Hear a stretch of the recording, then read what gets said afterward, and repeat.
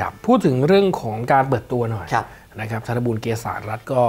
หลังจากตรวจร่างกายครับนะครับผ่านฉลุยแล้วก็เปิดตัวแล้วอ่านนะครับเมื่อช่วงบ่ายครับนะครับสำหรับธนบุญกับ BGFC ใช่ค่าตัว 40 ล้านบาท ใช่ครับ ก็สัญญาจะเป็นในระยะยาวนะครับสำหรับธนบูรณ์ก็เจ้าตัวจะสวมหมายเลข 5 นะครับ ในการลงแข่งขันให้กับบางกอกการ์ดในช่วงของเลขที่ 2 ก็ต้องดูว่าสภาพความฟิตของธนบูรณ์จะผ่าน หรือไม่นะครับ เพราะทางทีมเนี่ยกำลังดิ้นรนหนีตกชั้นอย่างหนักนะครับ แล้วเกมแรกของเลกที่ 2 จะเล่นกับบุรีรัมย์เลย ก็ต้องดูว่าจะทันลงสนามหรือเปล่านะครับครับธนบูรณ์เองก็บอกเป้าหมายนะอ่าในการมาอยู่กับ BG เนี่ยเขาบอกว่า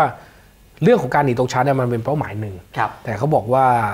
ถ้าเขาสามารถจูนกับผู้ร่วมทีมได้แล้วเนี่ยอืมเขามองไปถึงการติด top five ด้วยนะครับ นะฮะอาจจะติดลมบนแล้วก็ทำให้ทีมกลับมาอยู่หัวตารางอีกครั้งหนึ่งใช่อันนี้ก็ต้องดูยาวครับๆนะครับแต่ว่ากองกลางของ BG ตอนนี้ถือว่าก็ดูมีมิติมากขึ้นครับนะครับแน่นมากขึ้น แต่ก็ต้องดูว่าเสริมตำแหน่งอื่นขนาดไหนด้วยใช่ก็ต้องรอรุ้นกันนะครับ เพราะปีนี้อย่างที่ทราบกันไทยลีกตกชั้น 5 ทีม แล้วสถานการณ์ของบางกอกการ์ดก็ยังอยู่ในพื้นที่สีแดงอยู่นะครับครับ